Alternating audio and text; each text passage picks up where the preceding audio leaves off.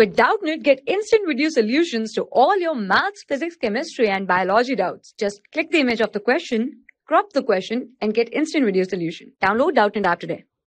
Hello student, let us start with the question. Here we have given if a m by 3 comma 5 is the midpoint of the line segment joining the points q minus 6 comma 7 and r minus 2 comma 3 then value of m is first option is given minus 12 minus, uh, 4 plus 12 minus 6 actually the first option is given to us that is minus 12 okay so let us start with the solution. Before starting to the solution let this is the line segment okay where points is given to us that is q and r. And here is the midpoint that is m with the coord uh, that is a sorry that is a with the coordinates m by 3 comma 5 now the coordinates of q is given to us that is minus 6 comma 7 and coordinates of r is given to us minus 2 comma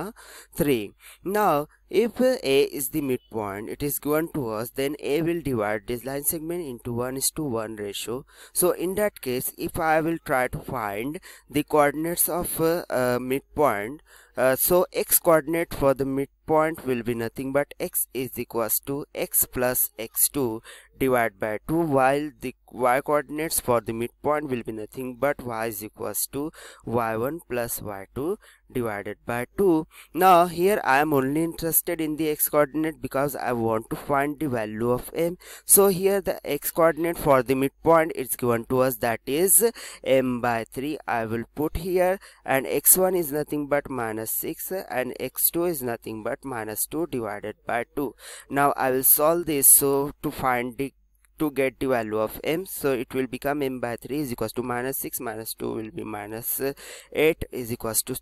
2 uh, uh, minus 8 divided by 2 this will be 2 ones are 2 2 fours are 8 so here the value of m will be nothing but is equals to minus 4 this 3 will goes to that side get multiplied with uh, minus 4 so here i will get the value of m that is minus 4 3 is a minus 12 if i will try to uh, match with the options so option first will be the right answer for this particular question. I hope you will like the solution. Thank you For class 6 to 12, IIT JEE and NEET level. Trusted by more than 5 crore students. Download Doubtnut app today.